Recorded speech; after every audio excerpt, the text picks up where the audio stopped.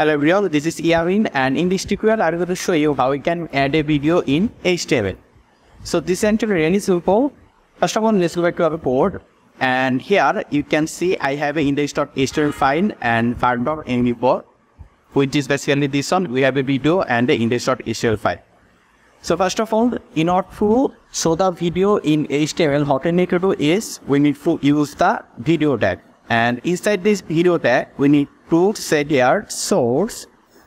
And in the source, here you can see it's a a C. So here we need to mention our video file locations. So our index.html and card.mp4 is in the same folder. So we can just say here card.mp4 and make sure that the extension .mp4 and the name is same and in the type we need to mention video slash our video type which is mp4 so right now if we set this and if we open it in the browser then you can see it is showing us the dash at video in html and the video file but we cannot play this video. So how can we play this video? In order to play this video we need to say in the video video net we need to say here controls save this then refresh. As you can see we have a formal option.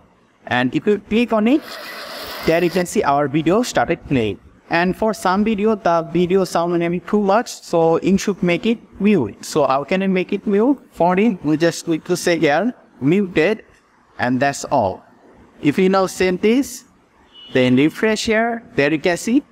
Our sound is muted and if we play this there is no sound and we can increase the sound to beyond so right now, let's say all the video end, we want the video to play again automatically. For example, there can see the video index and the skin cross. So we want the video autoplay. So how can we do it? So for it, we are going to say here autoplay. Then we'll say here no. Send. Then refresh here again. There you can see our video started automatically and at the end, when the video end, the video will start from the very beginning.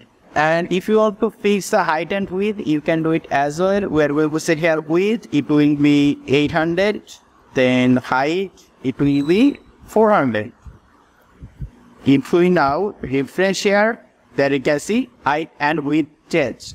So this how we can add video in HTML. I hope this tutorial was easy for you. If you have any question or suggestion, just let me know in the comment section. Make sure to subscribe and I hope to see you in the future video.